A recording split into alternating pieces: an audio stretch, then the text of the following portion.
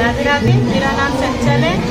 मैं मथुरा की रहने वाली हूँ और हम लोग करीबन एक साल होने पे आ रहा है। ठाकुर जी कृपा से हम परिक्रमा लगाने आते हैं। मैं जब कुआरी थी, तब से ही मतलब मेरे दादा और दादी के टाइम से मेरी दादी मथुरा की थी तो उनको कृष्ण भक्ति का बहुत अंदर से मतलब बहुत कृष्ण भक्ति करती थी। तो उनको ही बचपन से देख देख अंदर भी वो कृष्ण भक्ति मतलब पैदा हुई अंदर।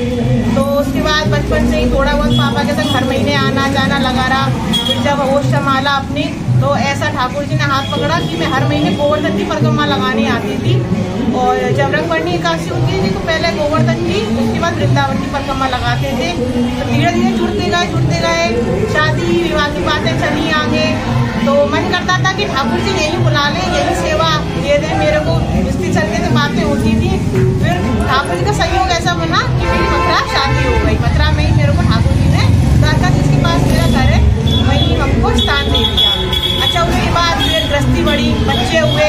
अब मैं गिर गई। आ नहीं सकती थी बड़ा मन विचलित रहता था कि भाई परिक्रमा छूट गई क्या?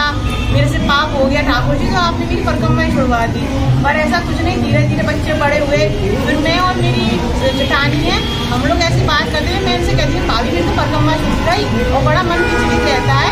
तो फिर हम लोगों ने पिछली ये इसी साल देवठान एकादशी पर हम लोगों ने, मैंने इनसे बोला, भाई परिक्रमा चलते हैं। तो बोली, चलो, मथुरा की लगती है। मैंने बोला, नहीं नहीं, मथुरा की नहीं, वृंदावन की चलते हैं।